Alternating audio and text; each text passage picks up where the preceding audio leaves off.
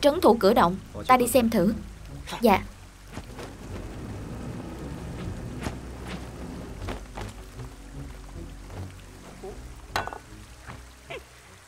Tiểu bảo bối nào tới đây? Chẳng lẽ chưa nghe qua quy danh của tề thiên đại thánh Tôn Gia Gia ta? Ngươi dám tới để chịu chết hay sao? Ngươi là môn hạ của ai? Tại sao đại náo hội bàn đào? Ngươi qua đây. Lão Tôn Gia sẽ nói cho ngươi biết.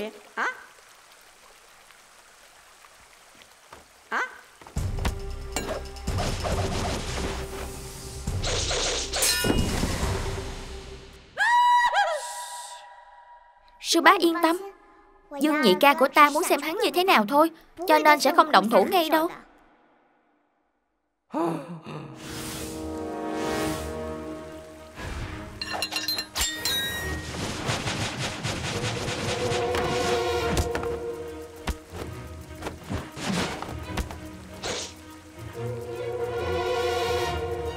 Ngươi cũng là môn hạ của Nguyên Thủy Thiên Tôn. Ta và ngươi đều là đồng đạo. Cái gì là trời, cái gì là đất? Lão Tôn ta không biết. Tốt nhất là ngươi nên đi nói với tên Ngọc Đế. Hãy mau nhường ngôi cho lão tôn ta đi. Đừng phí thời gian kêu người tới đây nữa. Không ngờ giả tâm của ngươi lại lớn như vậy. Ngay cả ngôi Ngọc Đế cũng muốn đoạt lấy. Lão tôn ta trước nay chưa từng gặp đối thủ. Ngươi rốt cuộc là thần thánh phương nào? Họ Dương tên Tiễn. Nhà ở quán Giang Khổ. Quán Giang Khổ. Ta biết ngươi là ai rồi. Thì ra là cháu trai của Ngọc Đế. Lão Tôn ta nhớ Hắn có một muội muội dưới trần tục Tìm một tiểu bạch liễn họ Dương Sinh ra được ba đứa con. Nghe nói có một tên Cầm búa bổ ra đào sơn. Thì ra đó chính là ngươi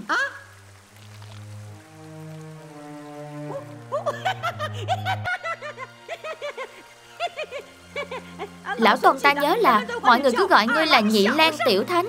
Tiểu thánh à tiểu thánh, Lão Tôn ta mắng ngươi mấy câu, Ngươi lại không quán không thù với lão Tôn ta. Hay là lão Tôn ta đánh ngươi? Chỉ đáng tiếc là ngươi không như vậy. Ngươi ngoan ngoãn qua đây Để lão Tôn ta gõ vào đầu ngươi ba cái. Lão Tôn ta sẽ thả cho ngươi đi. Xé nát miệng con khỉ đó. Lui xuống. Chủ nhân, Giết hắn. Giết hắn đi. Thao Thiên Khuyển, Ngươi và huynh đệ Mai Sơn, Trấn thủ cửa động. Việc ở đây Để cho ta. Dạ Dạ chủ nhân.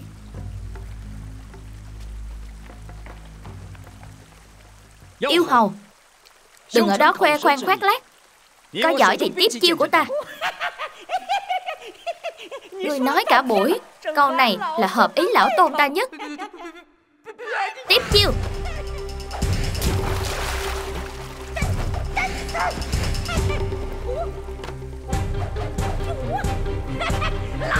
Tới đây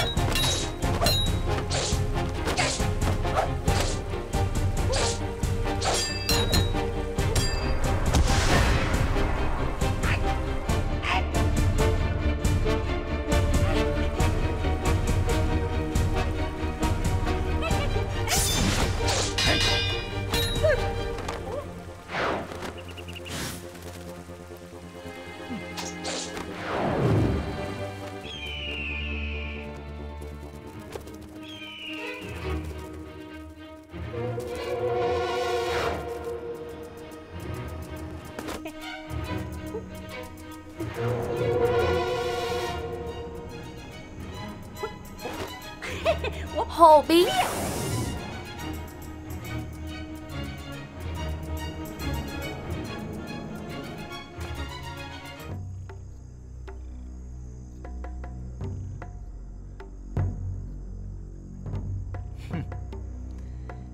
Chưa thấy cột cờ.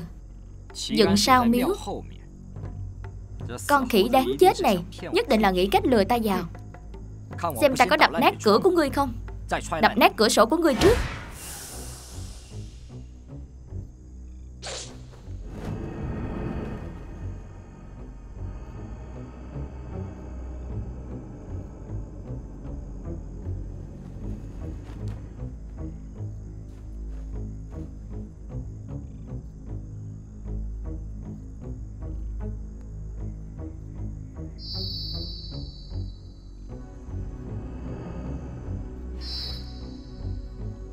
Quán gian khẩu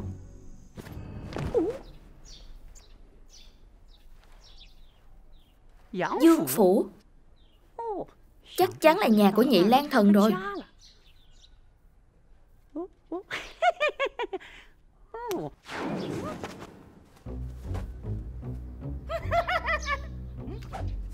Dương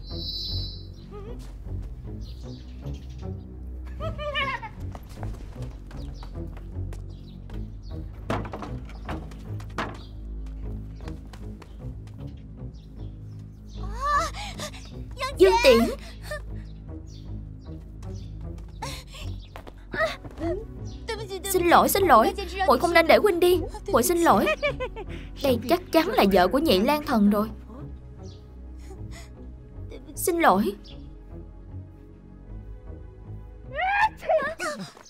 Mùi hải sản nhiều như vậy? Hôm nay ăn hải sản sao? Huynh dám? Ta chỉ đùa thôi. Đánh trận sao rồi? Vào nhà Ta nói cho muội biết Yêu hầu Dương Tiễn Ngươi về trễ rồi. Dương phu nhân Đã biến thành hầu phu nhân rồi. Tôn Ngộ Không Ngươi có bản lĩnh thì đừng bắt ép con tin. Ta khinh. Lão Tôn ta từ khi nào làm những việc như vậy chứ? Vậy thì chúng ta ra ngoài đánh. Được. Ngươi đi trước đi. Được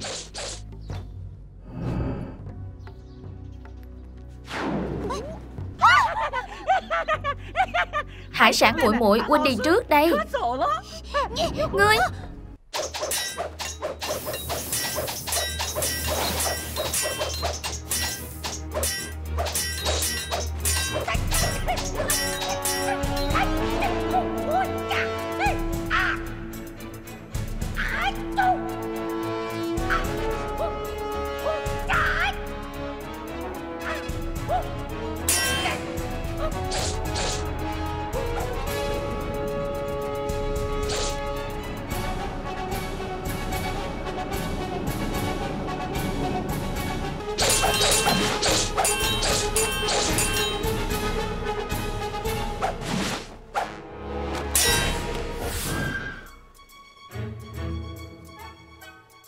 Nhị Lan biểu ca.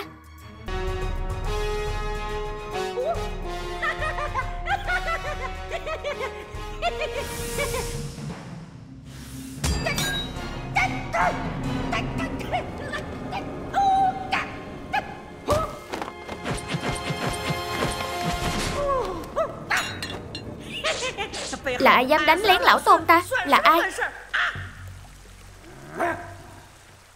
Ai dám quấy nhiễu? Thái thượng lão quân ta, Giúp sức dương tiễn một tay. Ông hãy lo làm chuyện của ông đi. Đưa hắn đi. Đi. Đi.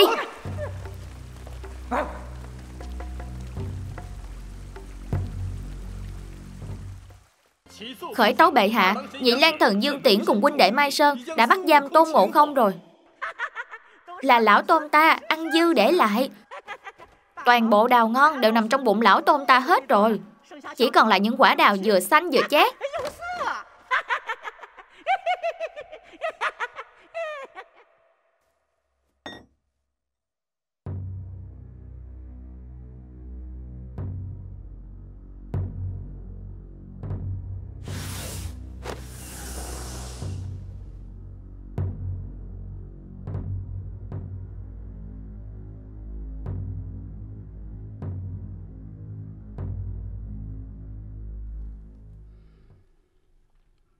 Dương Tiễn Lần này coi như ngươi lập được kỳ công tái thế. Chỉ là việc nhỏ Không cần nói tới. Nếu như không có dòng kim cương của Thái Thượng Lão Quân giúp đỡ E rằng việc nhỏ này Cũng không làm được dễ dàng như vậy đâu.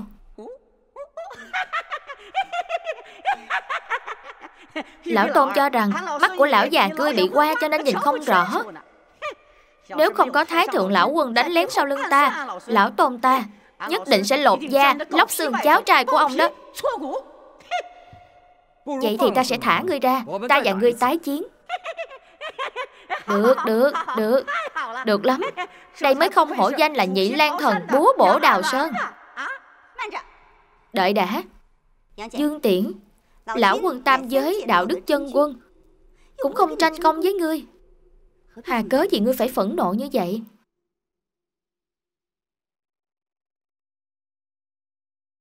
Bệ hạ, Trong thánh chỉ có nhắc qua, Nếu Dương Tiễn lập công, Sẽ lập tức ban thưởng.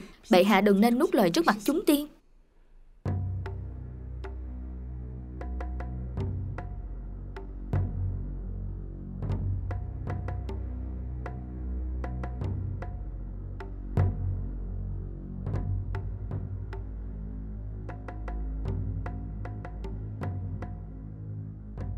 Người đâu?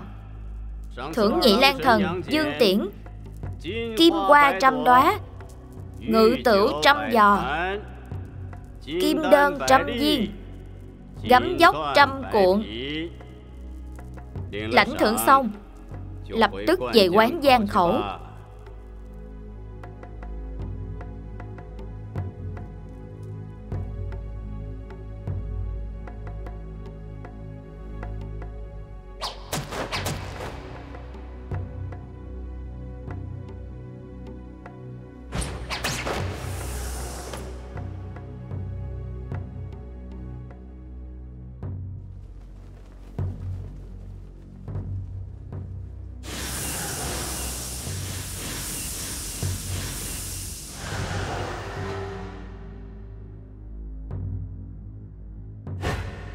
Tạ bệ hạ.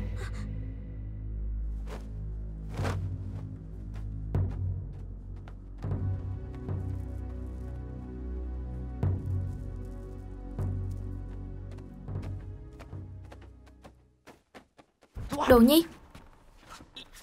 Tôn Ngộ không đâu. Đã giao cho thiên đình rồi.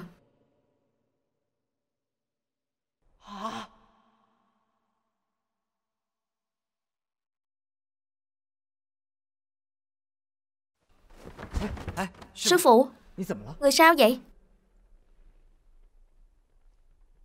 Chẳng lẽ Tôn Ngộ không?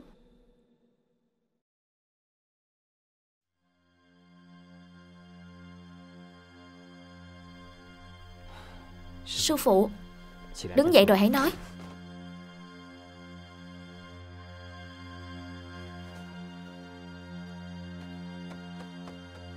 Sư phụ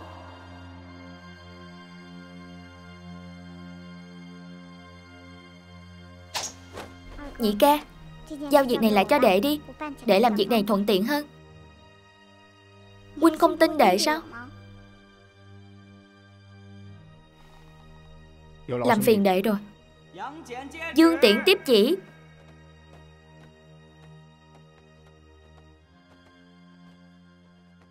Dương Tiễn, Những thứ này đều là phần thưởng của bệ hạ. Lão Lục Bao nhiêu phần thưởng phế phẩm này của Ngọc Đế Dứt hết vào cống thối. Dạ nhị gia. Dương Tiễn Ngươi đừng quá láo xược Ngươi nói cái gì?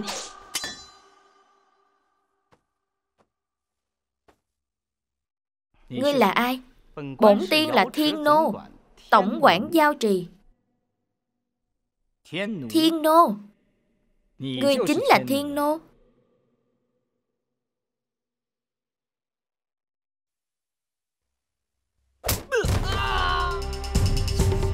Mặt của ta. Đánh thắng cho ta. Dạ.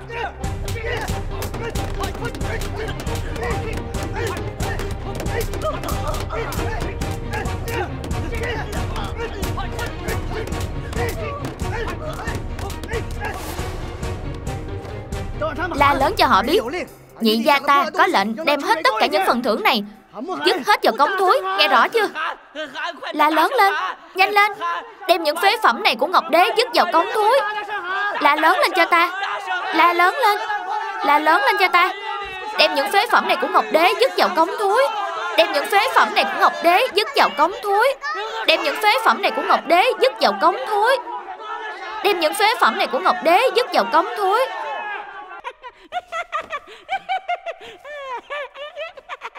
Tôn ngộ không Lúc nào ngươi cũng cười cợt như vậy sao? Lão Ngọc Đế Ngươi đừng lo lắng. Hôm khác Lão Tôn ta sẽ lại náo loạn ngươi. Bệ hạ không xong rồi. Không xong rồi. Xảy ra chuyện gì? Dương Dương Dương tiễn tạo phản. Dương Dương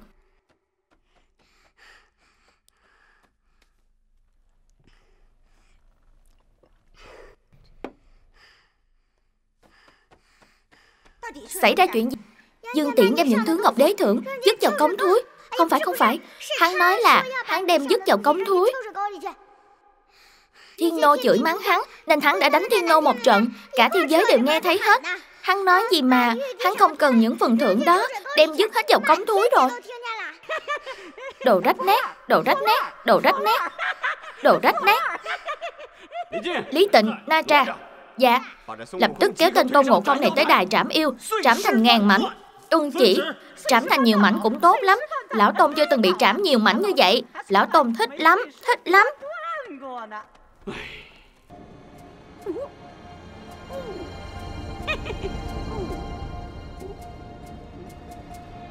Ta sẽ tháo dây trói tiên ra. Ngươi mau chóng chạy đi.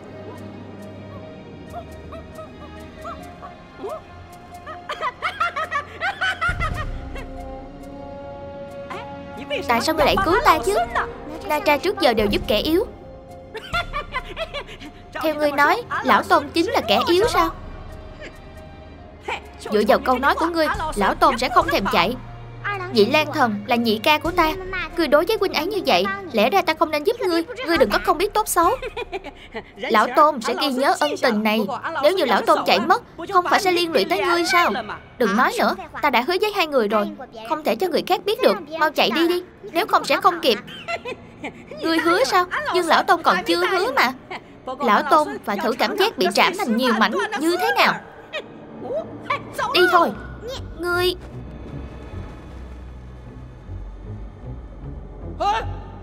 Đứng lại.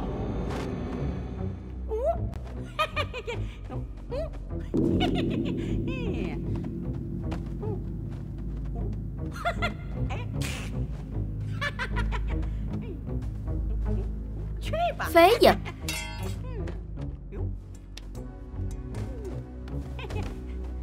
Qua đây.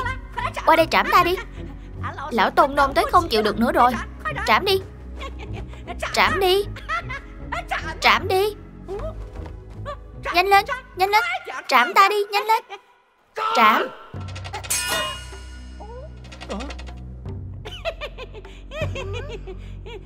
Trảm đi Trảm đi.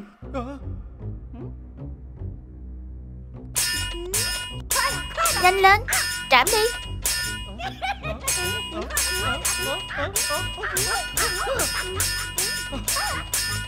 Huh?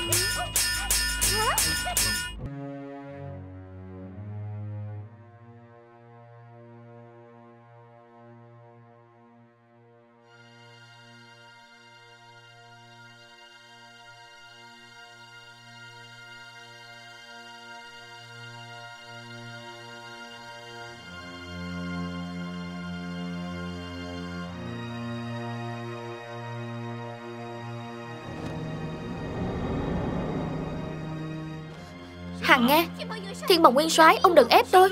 Hằng Nga Ông còn quậy nữa tôi sẽ bẩm báo với Ngọc Đế. Hằng Nga Hằng Nga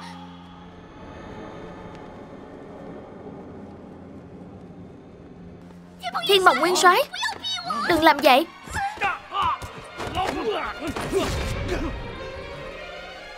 Dương Tiễn, Tránh ra cho ta. Thiên bồng, Ông đã sai rồi. Ta không sai. Người cút cho ta. Tránh ra. Nguyên soái Ta khuyên ông nên quay về chờ tỉnh rượu. Phải. Chỉ có lúc ta uống nhiều rượu Mới dám nói những lời Mà khi tỉnh ta không dám nói. Giống như Quyển Liêm Cũng đã bị đầy xuống hạ giới rồi. Quyển Liêm Đã bị đầy xuống hạ giới rồi. Ta không còn gì Phải sợ nữa hết. Ta không sợ gì nữa hết. Nguyên soái Xin tự trọng Dương Tiễn. Ngươi là một tên tiểu nhân Dông ân phụ nghĩa. Ngươi có tránh ra không? Tránh ra không? Được. Hôm nay Ta sẽ dạy dỗ cho tên tiểu nhân dông ân phụ nghĩa này.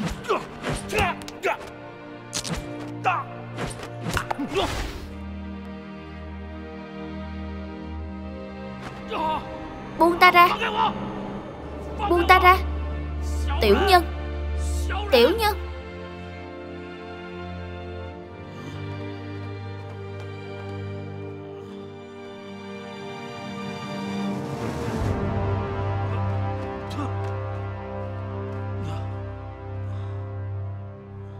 Dương Tiễn, Ngươi không qua thông báo. Tự xông vào cung. Còn kéo theo thiên bồng tới đây. Cuối cùng ngươi có ý gì đây hả? Thiên bồng nguyên soái mượn rượu Giở trò xàm sở hằng Nga Bệ hạ Nên xử lý như thế nào đây? Cái gì? Cái gì? Bệ hạ Nương nương. Hằng Nga Thiên bồng mượn rượu sàm sở khanh? Có thật không?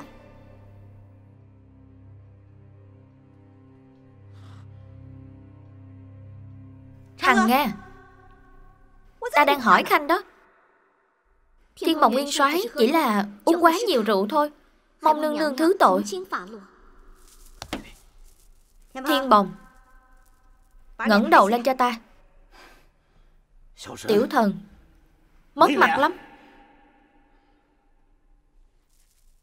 Tên vô sĩ này Ngươi đã Làm mất hết mặt mũi của thiên đình ta rồi. Hoàng thanh lực sĩ đâu? Có Lôi thiên bồng nguyên soái xuống hạ giới cho ta. Vĩnh viễn không được lên thiên đình. Dạ. Bệ hạ, Thiên bồng nguyên soái chỉ là uống say thôi. Mong bệ hạ thu hồi thánh lệnh. Thằng Nga, Xem ra Khanh bị hắn sàm sở đến cam tâm tình nguyện rồi. Thần Dương Tiễn, Lần này ngươi hả giận rồi chứ?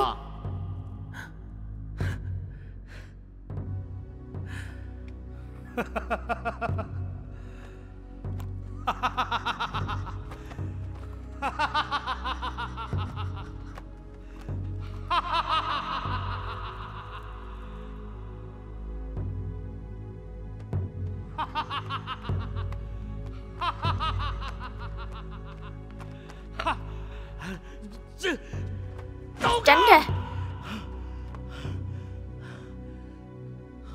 Tiên tử Thiên bồng. Có lỗi với tiên tử. Đừng hận thiên bồng. Đừng hận ta. Kiếp sau gặp lại. Tránh ra.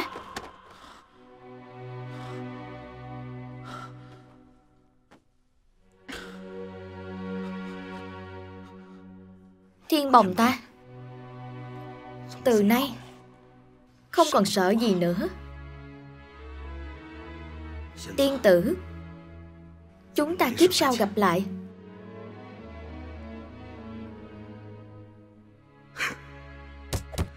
Tránh ra.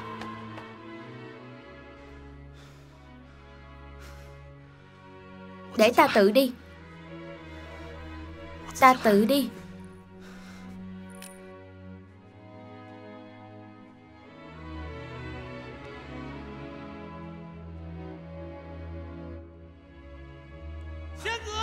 Tử.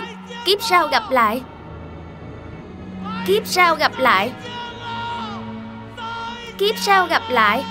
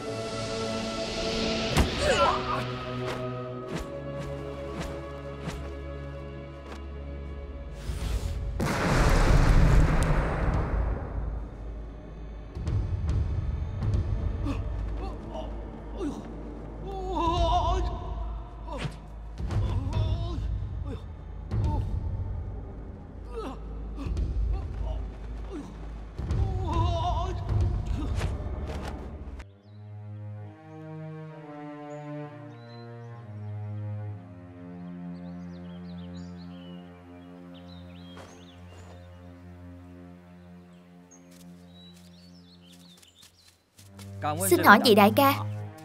Có chuyện gì? Có phải hôm nay trong thôn có một hài nhi ra đời hay không? Hình như không có. Nhưng mà con heo nái nhà tôi Nói không chừng Tối nay sẽ sinh đó. Đa tạ. Nè sắp sinh rồi. Sắp sinh rồi. Sắp sinh rồi. Nhanh một chút Sắp sinh rồi, Đã sanh chưa? Sắp sanh rồi, Đợi ông đó. Còn biết đợi ta sao? Sanh đi.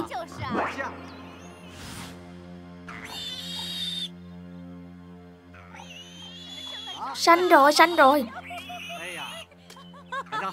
Tốt quá. Nhìn nè. Đáng yêu thiệt nha. Đúng vậy. Chắc thịt quá. Người mới là heo đó.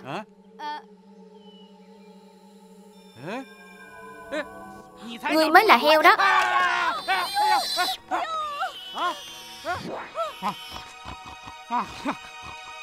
Té chết ta rồi. Yêu quái. Té chết ta rồi.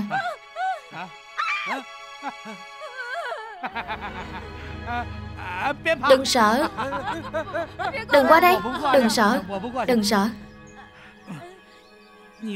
Bà là mẹ của ta. Không phải. Không phải.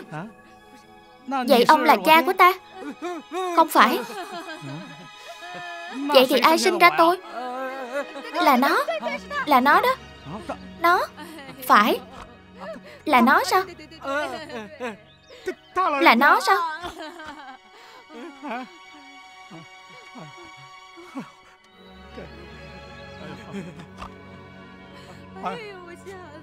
Trời ơi, đây là hình dáng gì vậy?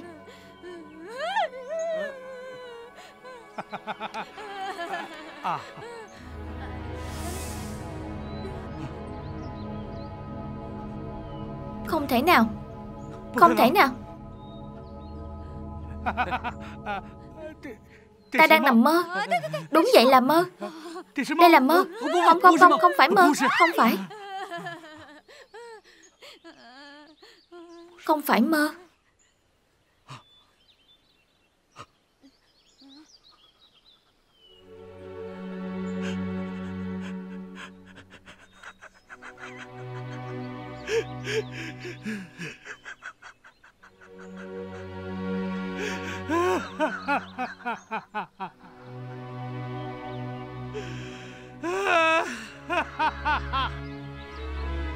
Không thể nào.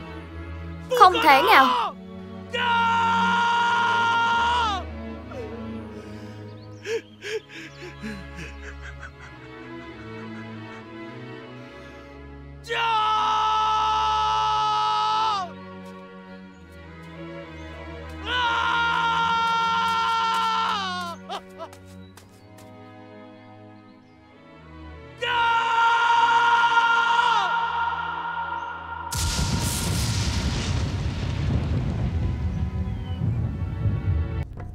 Nhị lang thần đâu?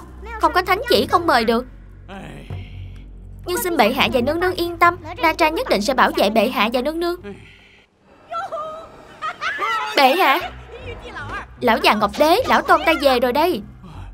Lão Ngọc Đế!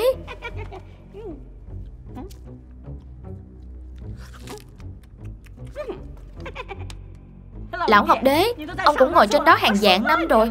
Cái mông của ông Ngồi đến bự ra luôn rồi. Chi bằng. Chi bằng, ông nhường cho lão tôm này ngồi đi. Mong lão tôm đây. Còn nhỏ xíu à.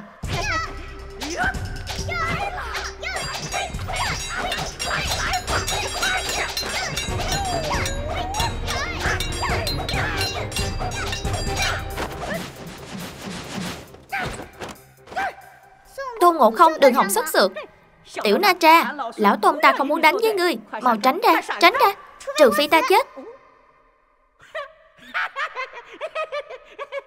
Nếu người không tránh ra Lão Tôn sẽ đem lời mà ngươi nói với Lão Tôn Nói lại cho Lão Ngọc Đế biết đó. Ta Ta đã nói gì với ngươi? Chính là lúc ở đài trảm yêu của Nam Thiên Môn đó. Na Tra Khanh ở Nam Thiên Môn đã nói gì với hắn Bất kể Khanh nói gì, Bệ hạ đều xá tội. Đúng. Xá tội cho Khanh. Cái gì mà có tội vô tội, Đừng nghe lời của hắn. Sao các người đừng nghĩ xấu cho tiểu Na Tra như vậy chứ? Tiểu Na Tra, Nếu lão tôn ta đánh ngươi, Ta sẽ thấy rất đau lòng. Nhưng nếu không đánh ngươi Ngươi lại chống đối lão tôn. Nếu còn như vậy, Ngươi ăn một gậy của lão tôn đi. A-di-đà Phật. Hòa thượng phương nào? Sao lại lớn giọng như vậy? Tôn ngộ không? Ngươi ra đây xem thử là biết ngay. Lão Ngọc Đế, Ông nhớ lau sạch cái ghế cho lão Tôn nha. Lão Tôn đi một chút rồi về ngay.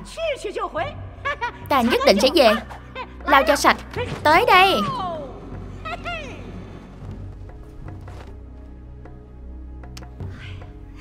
Cuối cùng Phật tổ cũng tới rồi.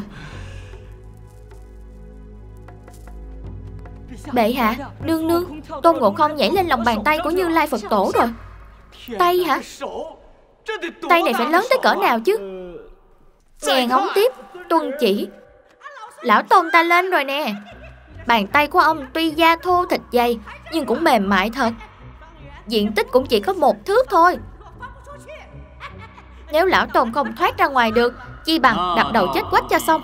Vậy thì không cần. Na Tra Khanh đi xem thử đi. Tuân chỉ. Bệ hạ. Con khỉ kia nhào lộn một cái Lại đi được 10 dạng 8 ngàn dặm. Phật tổ đến giúp chúng ta giải dây thật sao?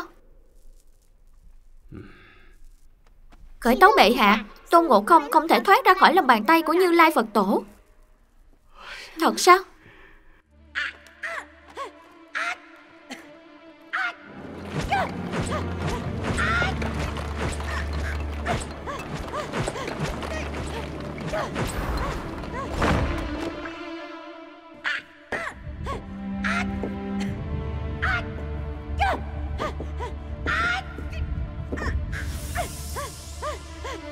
Như Lai, Có giỏi thì thả lão Tôm ra. Chúng ta đường đường chính chính Đánh một trận.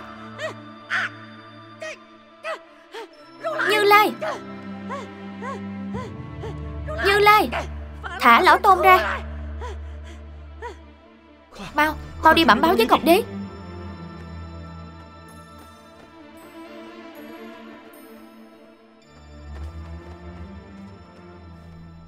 Ta là Tam Thánh Mẫu Hoa Sơn, Đến để giải dây cho thiên đình. Vậy cũng phải đợi thông báo rồi mới được vào. Vậy thì bẩm báo đi.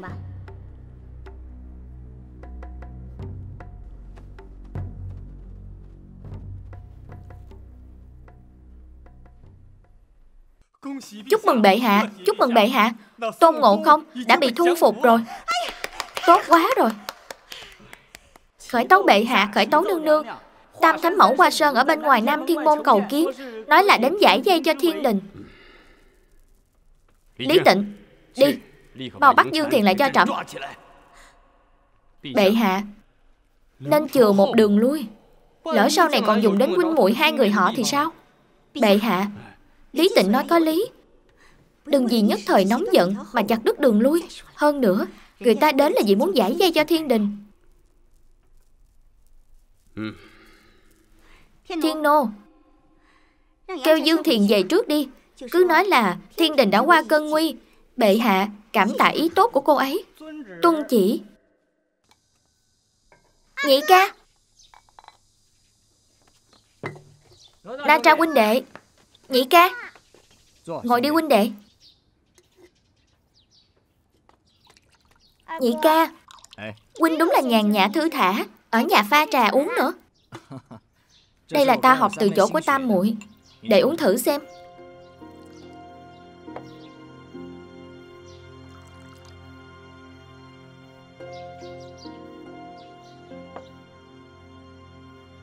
Sao hả? Không tệ Nhị ca Sao huynh không hỏi tại sao để tới đây?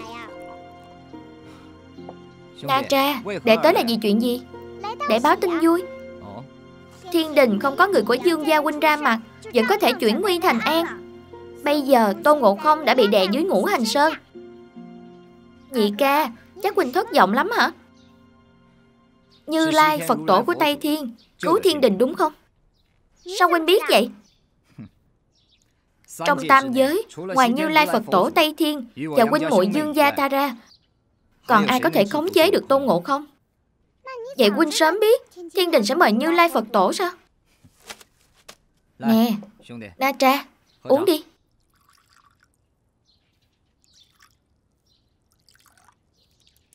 Thật ra Tẩu tẩu cũng vì muốn tốt cho huynh. Chỉ tiếc là Tẩu ấy không biết trong lòng huynh đang nghĩ gì thôi. Cô ấy biết Chỉ là cô ấy mong rằng Nhị ca sẽ làm theo ý muốn của cô ấy. Lúc mới rời khỏi Hoa Sơn Đệ thật sự không muốn làm huynh đệ với huynh nữa. Vì huynh đã chơi khăm đệ. Nhưng khi nhìn thấy Sau khi Tôn Ngộ không bị thu phục Bộ dạng đắc ý của Ngọc Đế Đệ cảm thấy hối hận vì đã cứu ông ta?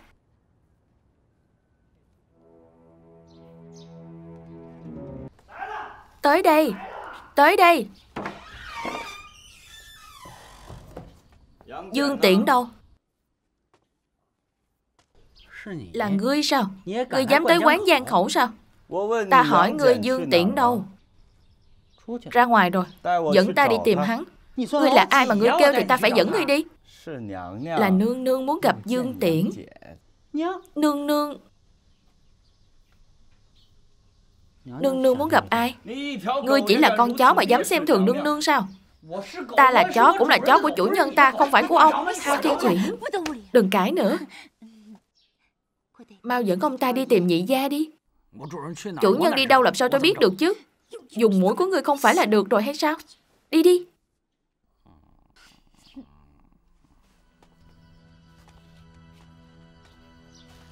Đi thôi.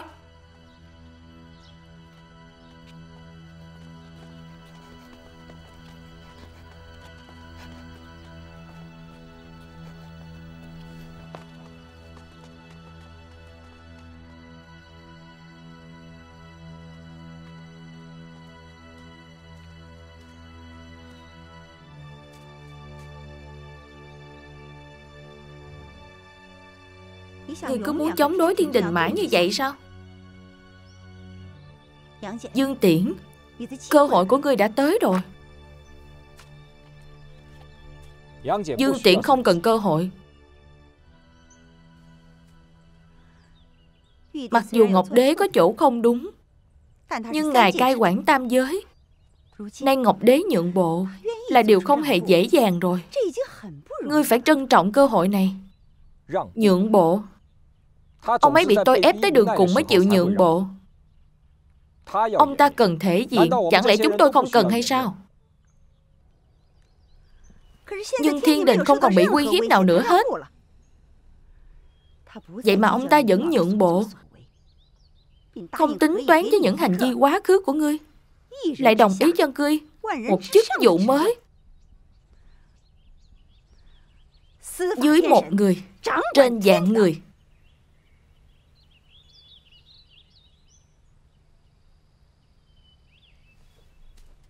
là Tôn Ngộ Không làm cho ông ta ý thức được. Các người chỉ muốn mượn pháp lực của tôi để trấn áp tam giới, kêu Dương Tiễn làm tay sai cho các người. Ta không làm.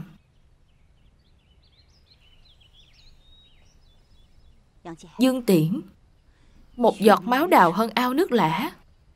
Cho dù đến cuối cùng, ông ta vẫn là cậu của ngươi. Nhưng ngươi đã giết đi những đứa con thân yêu nhất của ông ấy. Ông ấy quyết định nhận lại ngươi là không dễ dàng. Nhận tôi sao? Nếu Dương Tiễn này không có pháp lực như ngày hôm nay, Ông ta chịu nhận tôi sao? Cũng đã 500 năm rồi. Ân quán của hai người cũng nên quá giải đi. Ta còn nghĩ ra cách nào? Tốt hơn cách này nữa chứ. Ân quán của Dương Tiễn và các người Không thể nào xóa bỏ. Nhị gia. Nhị gia, Huynh nghĩ Huynh là ai chứ? Nương nương đã đích thân xuống đây, Huynh còn Tố tâm. Nương nương, Đi chỗ khác. Dạ nương nương.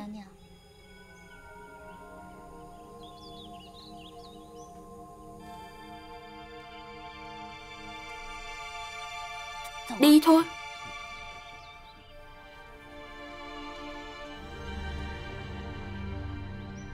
Đã làm phu thê với Tố Tâm 500 năm rồi. Mùi vị thế nào?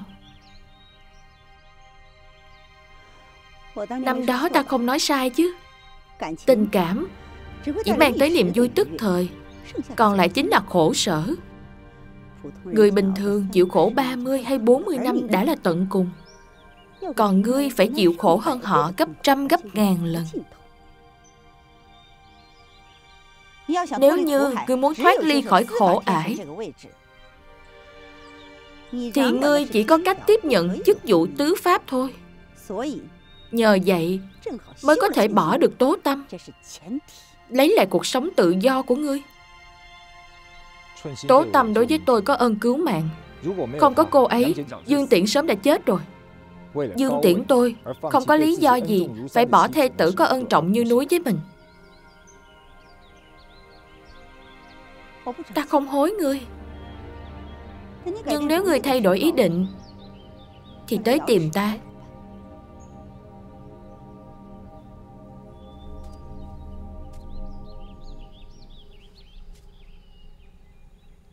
Bỏ ý định đó đi. Dù là vị trí nào trong tam giới, Thì trước mặt Dương Tiễn Cũng chỉ là rác thôi.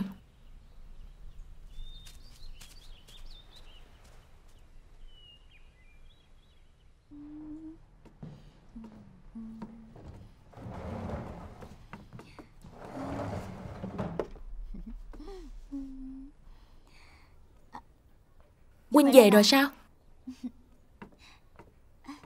Dương mẫu nương nương đi rồi hả?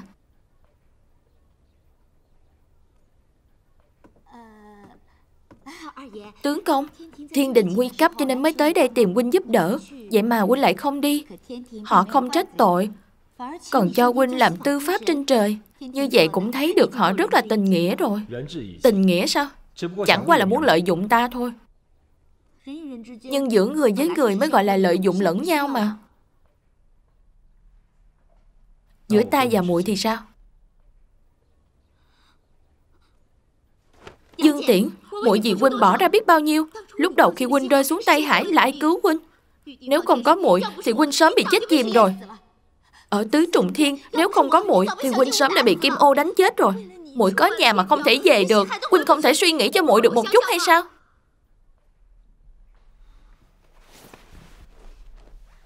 Cho nên như vậy ta càng không nên làm tư pháp thiên thần gì đó. Dương Tiễn Huynh nghe đây. Nếu Huynh còn cứng đầu như vậy Thì tình nghĩa phu thê tới đây chấm dứt.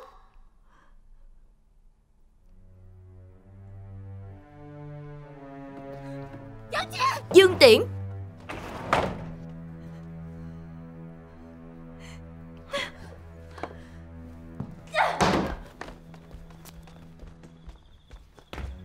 Chủ nhân, đi đâu vậy? Theo ta Đợi tôi với